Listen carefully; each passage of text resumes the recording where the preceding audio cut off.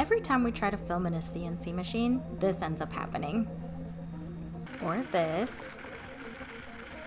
It really slows our productivity when we have to keep wiping the lens off with the rag.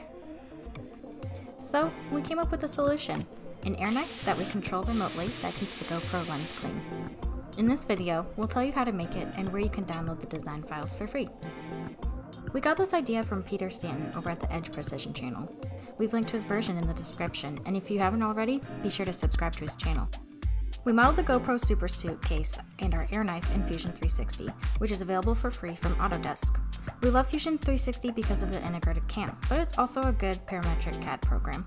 You can download the CAD files for the air knife and the GoPro case from our website. We've linked to the companion blog post in the description. There's a couple of features of the design that we want to highlight. The entire design can be 3D printed without support material.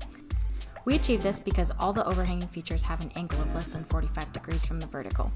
This internal passage can't really be machined, so 3D printing is perfect for this part. Another important consideration is the distance between the quarter inch inlet and the slot exit just adjacent to the lens. We want as even airflow across the width of the lens as possible, and if this diverging angle is too extreme, the flow will detach from the internal passage at the edges. This will cause it to lose a lot of energy in the form of turbulence, and the airstream won't clear the lens as efficiently. In this design, the angle is less than 5 degrees, which should keep the airstream fully attached. We 3D printed the design in tough PLA, which took about 8 hours. We used a solid infill and a 0.1mm layer height.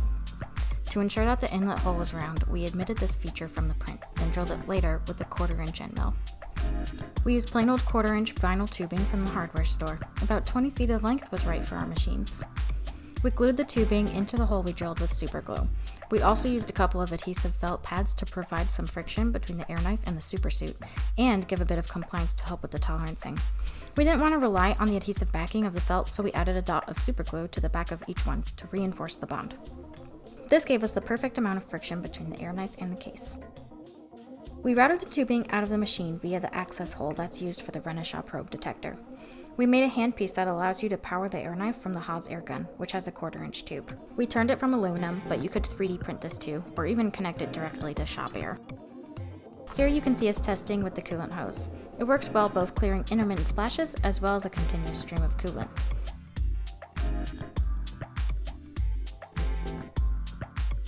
In this shot, we set the GoPro very close to a big face mill that has coolant spraying on it. Right now, the air knife is off, but when we switch it on, it really helps keep the coolant off the lens. Thanks for watching. We have more videos on the way, so be sure to subscribe.